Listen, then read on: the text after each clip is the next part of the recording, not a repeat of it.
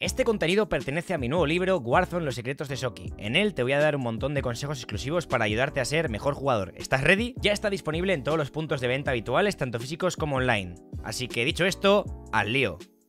En este vídeo os vengo a traer los mejores combos o los que más me gustan a mí a la hora de jugar una partida de Warzone, los diferentes tipos, no enfocándome tanto en las armas en sí, sí que voy a enseñar accesorios, sino en cómo llevar esas armas y cómo enfocarlas, ¿no? Porque no es lo mismo llevar, por ejemplo, dos fusiles o un subfusil y un fusil o un sniper y un subfusil o un fusil de asalto, ¿no? Entonces quiero hacer como diferentes combos para que tengáis varias opciones y luego, pues en función al vídeo anterior que os he hablado de las armas que más me gustan, que pongáis esas armas en estas clases, ¿no? Con los accesorios correctos y todo eso. Entonces, en primer lugar, típica clase de francotirador, ¿no? En este caso he elegido pues la RAM, que me gusta mucho como complemento de sniper, que sabéis que se puede llevar, por ejemplo, así, como la llevo yo, monolítico, ranger, láser táctico, la mira holográfica y 50 balas, pero otra opción, si os gusta su mira de hierro, es ponerle, por ejemplo, eh, la empuñadura de comando, ¿vale?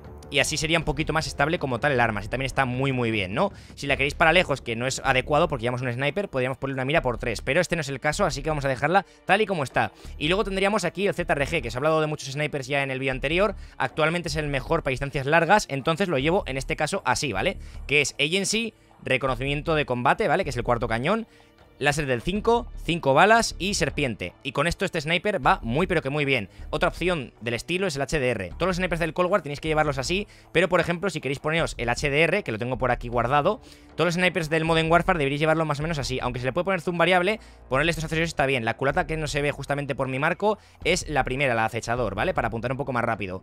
Táctico, HDR Pro, monolítico y concentración, que es para, vamos a decir, que cuando te disparen no se mueva tanto la cámara. Si no, podéis poner una mira de zoom variable o poner un poco extra de munición. Para mí me gusta así para que sea un poco más estable, ¿no? O totalmente cargado para la clase de emergencia también está muy bien.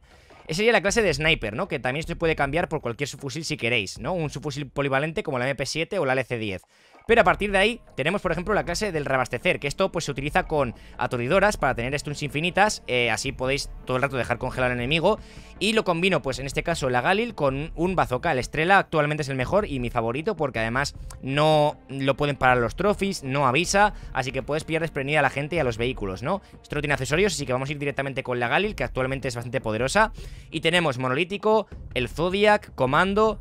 45 balas y mira por 3 Como veis más o menos, depende del rol del arma Siempre ponemos los mismos accesorios, lo he explicado un poquito en el, en el libro, ¿no? Pero bueno, esto es muy es un arma muy potente actualmente No sé cómo estará en el futuro, pero sigue siendo muy muy buena, ¿no?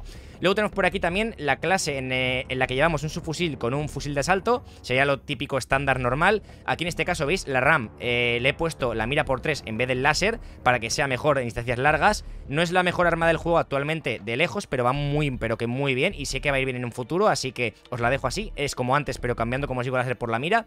Y luego tenemos un subfusil para distancias cortas. Actualmente, pues se pueden llevar varios. Bullfrog, que es este, ¿vale? Que lo tenemos por aquí. MP5 del Modern Warfare, del Cold War. También se puede llevar, por ejemplo, la PPSH, la Mac, la LC10. Se ponen un montón de opciones. Pero bueno, yo aquí os dejo la Bullfrog, que la llevo con silenciador GRU, que se puede poner en algunos subfusiles incluso el silenciador de sonido para que apunte un poco más rápido. Luego tenemos la Bruiser, que es para moverte mucho más rápido. Si queréis más control de retroceso, es mejor la Spetnaz, pero este es para moverme rápido. Luego también es una opción, eh, si no queréis llevar eh, un cargador tan grande porque la Bullfrog de por sí tiene balas, pero siempre es buena idea en sus fusiles llevar normalmente este, pero como ya la Bullfrog tiene muchas balas es mejor el primero, ¿no? Pero eh, podéis llevar 65 balas perfectamente o no llevar cargador y la mejor culata en general para las armas del Cold actualmente es la de, bueno, la última, ¿no? Si no también podéis poner la anterior, las pendas, pero la última es la que más me gusta. Y la otra opción, como os digo, para moverte también muy rápido es la linterna de tigre. Con esto corréis un montonazo, ¿no? Así que esta clase sería full agresiva, en plan full rush. Está muy bien para distancias cortas. Y luego también tenemos por aquí eh, una clase parecida pero cambiando de armas. La Gali la llevo exactamente igual que antes, así que no hay ningún tipo de modificación. Y la PPSH la llevo un poco diferente. La llevo con la empuñadura de Spendaz, como os digo, para control de retroceso. Con la linterna, con el cañón, llevamos el último, igual que la Bullfrog, ¿vale? Actualmente es el mejor para sus fusiles. Silenciador de sonido y 71 balas, el tambor. Y como veis, el arma así también es muy agresiva. Es menos que la Bullfrog, pero algo diferente, ¿no? Algo más potente, por así decirlo, que dispara también bastante rápido y que revienta muy rápido. Pero, por ejemplo, la Bullfrog tiene ese plus de bonus en la cabeza si sois muy habilidosos apuntando a la cabeza, ¿no?